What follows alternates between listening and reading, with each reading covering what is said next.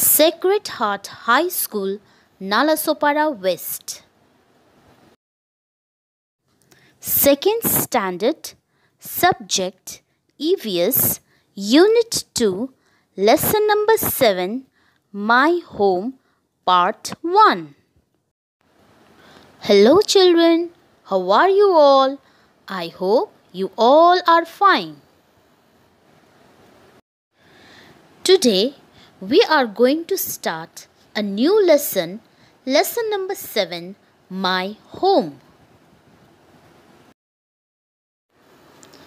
Children, do you know?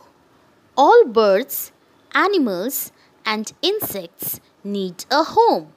A home makes everyone feel secure and comfortable.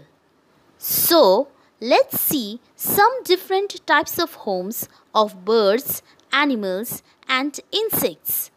Are you ready, children? Birds' nests. Some birds live in natural homes, some create their own, and some live in homes created by other birds. Birds build nests to live. A bird nest is a place where a bird lays its eggs.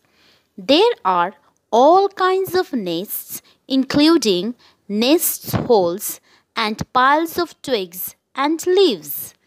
They are in all kinds of sizes.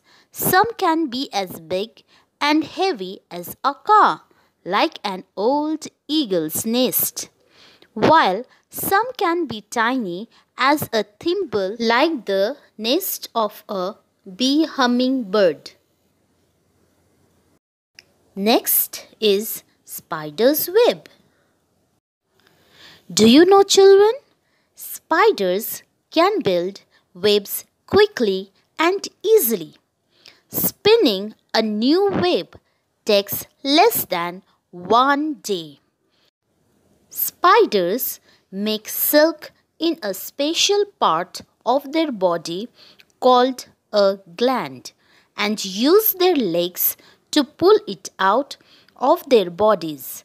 This is called spinning spiders and have evolved to spin very strong silk webs so they can catch insects to eat. Now, children, did you understand how spiders build web?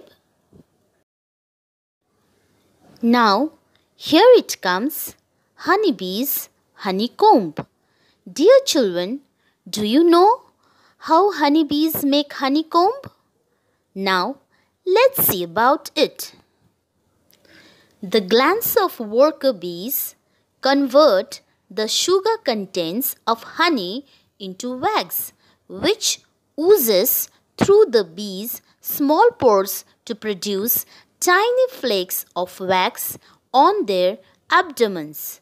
Abdomens means stomach. Workers chew these pieces of wax until they become soft and add the chewed wax to the honeycomb construction. The most important reasons bees build comb is a place to create and store honey, as well as bees need a place in which to establish or build their home. So, honeycomb is the house which is naturally built by honeybees. Next is ants and hills. Dear children, I hope you all have seen ants, isn't it? But do you know about anthills? Now listen carefully. Workers of ants, known as worker ants, try to build a safe home for the entire colony. Anthills are simply built up with fine soil, sand, or clay, sometimes with pine needles. Children, Do you know what is pine needles? Pine needles are very thin, sharp leaves that grow on pine trees. So, dear children, ants use pine needles to build a strong place to live, which is called ant hills. A rabbit's burrow. Rabbit lives in burrows or rabbit holes. A group of burrows is called a warren. So, dear children, in this way, rabbit dig the holes to live. Next is Beaver's Lodge. A beaver's home is called a lodge. Lodges are little dome shaped houses made from woven sticks, grasses, and moss plastered with mud. With powerful jaws and strong teeth, they fall trees in order to build homes and dams. Children, have you heard the idiom busy as a beaver? Yes, most of the time beavers are busy in making houses. All beavers need water to survive. So they live in or around fresh water ponds, lakes, rivers, marshes, and swamps.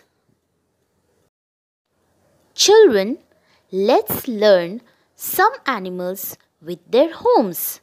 Are you ready? Let's match the pair. Bird, nest horse, stable, dog, kennel, hen, coop, cow, shed, lion, den. Dear children, in this part, we have learned about some kinds of animals' homes. In the next class, we are going to learn about different kinds of houses of human beings. Till then, take care and bye bye.